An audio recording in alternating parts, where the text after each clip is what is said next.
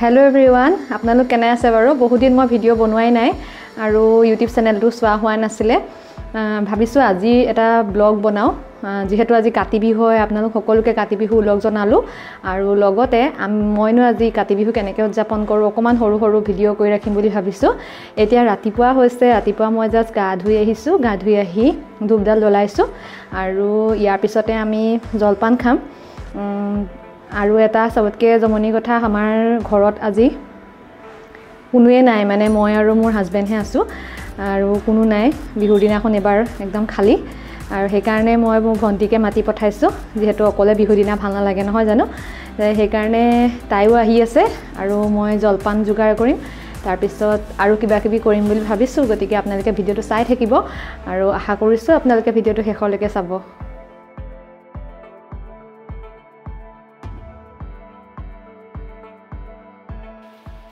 চাকি গছ লগাই ল'লোঁ ৰাতিপুৱাই আৰু আজিৰ দিনটো আৰম্ভণি এইদৰে কৰিলোঁ।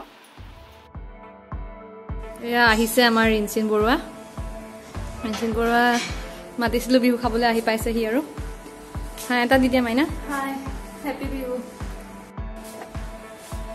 আৰু এতিয়া আমি বিহু খাম আৰু। মানুহ আমি তিনিটা আৰু ইফালে আৰু এজন আলহীও আহিলে। আলহীজন চাই আলহী মানে হেৰি ৰুবুল আহিছে আৰু। ৰুবুল সি আমাৰ ঘৰত থাকে। আৰু সেই আমি এইকেইটা এতিয়া চাৰিটা হ'লোগৈ আৰু লাষ্টত চাৰিটাই আমি এতিয়া জলপান খাম। তাৰপিছতে আৰু আবেলি সময়ত আৰু কিবা কিবি কৰিব লাগিব যিহেতু কাতি বিহু আপোনালোকে গম পাইছে গতিকে চাই থাকক। আমি জলপানটো খাই লওঁ।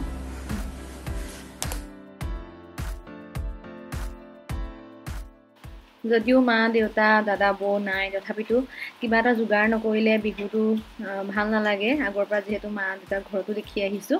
আৰু সেইকাৰণে ভাবিলোঁ অকণমান সৰু সুৰা দুটামান বস্তু গোটাই বিহুটো কমপ্লিট কৰোঁ। গতিকে এইদৰে আমি গোটেইকেইটা বস্তু গোট খালে আৰু চিৰা দৈ ক্ৰীম বাটাৰ আৰু মই এইদৰে পিঠাগুড়ি অকণমান পাই আছিলে খুন্দি থোৱা আগৰ পিঠাগুড়ি কেইটামান পিঠাও বনালোঁ।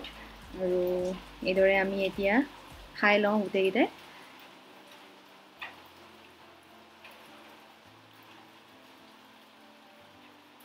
চিৰা খাই মেলি বহুত টোপনি আহিলে আৰু আমি শুই থাকিলোঁ। শোৱাৰ পিছত উঠি পেলাই ভাত খোৱা নহ'ল আৰু দিনত। ৰুটি দুখন দুখনেই খালোঁ এইদৰে পনীৰৰ লগত।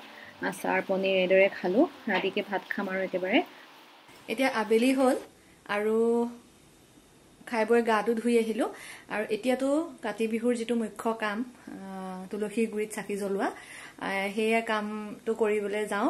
আৰু তুলসীৰ ভেটিটো ৰাতি অলপ আগতে পানী ঢালি থৈ আহিছোঁ চাফা কৰি আহিছোঁ।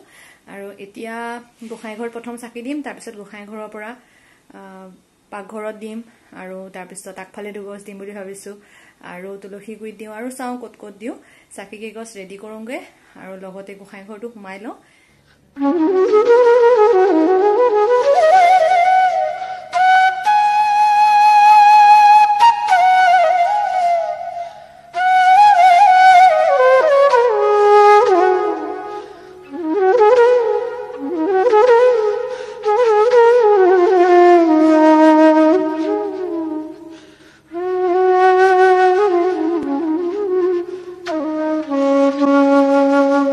যিহেতু কাতি বিহুত আমি সকলোৱে জানোৱেই তুলসী গুৰিত চাকি জ্বলোৱা হয় ভঁৰাল ঘৰত চাকি জ্বলোৱা হয় লগতে খেতি পথাৰতো চাকি জ্বলোৱা হয় আৰু সেই সময়তে কৃষকসকলে খেতিৰ উৎপাদন বৃদ্ধিৰ কাৰণে প্ৰাৰ্থনা জনায় এইখিনি কাম কৰে। আৰু আমাৰ যিহেতু ইয়াত তেনেকুৱা একো খেতি বাতি বা এনেকুৱা নাই গতিকে মই তুলসী গুৰিতে চাকি জ্বলাইছোঁ আৰু তুলসী গুৰিতে সেৱা জনাইছোঁ। তাৰ লগতে আমাৰ ঘৰৰ বিভিন্ন অংশত আগফালে এনেকৈ দুগছমান চাকি লগাই কাতি বিহু এইদৰেই এইবাৰ খুব সৰুকৈ পাত পালন কৰিলোঁ। যিহেতু মা দেউতা বা ঘৰৰ আন মানুহবিলাক থকাহেঁতেন আৰু ভাল লাগিলেহেঁতেন। কিন্তু এইদৰে পালন কৰিলোঁ আৰু আপোনালোকৰ লগত শ্বেয়াৰ কৰিলোঁ। কেনেকুৱা লাগিলে জনাব? আজিলৈ আহিছোঁ। ধন্যবাদ।